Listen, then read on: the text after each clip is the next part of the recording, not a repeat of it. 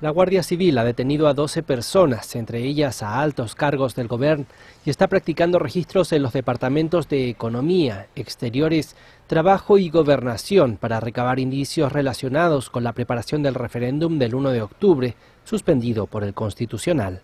Entre los detenidos, el número 2 de la Consellería de Economía, Josep María Llobé, y el secretario de Hacienda, Josep Lluís Salvador. Tras la operación, el portavoz adjunto de Esquerra Republicana, Gabriel Rufián, ha protagonizado uno de los momentos más tensos del Pleno del Congreso, al interpelar así al presidente del Gobierno. Le pido y le exijo que saque sus sucias manos de las instituciones catalanas. Una operación que Rajoy ha valorado así. Creo que estamos actuando con sensatez, con moderación y con proporcionalidad desde luego, la ley en España se tiene que cumplir. Los diputados de Esquerra y los de PDCAT han abandonado el Pleno del Congreso en señal de protesta por la actitud del gobierno. No ha sido la única.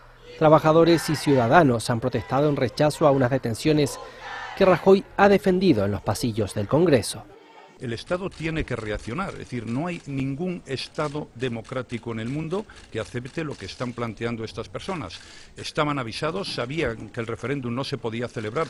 El presidente de la Generalitat, Carles Puigdemont, ha convocado a una reunión de urgencia a sus consejeros, mientras que los independentistas continúan con las protestas.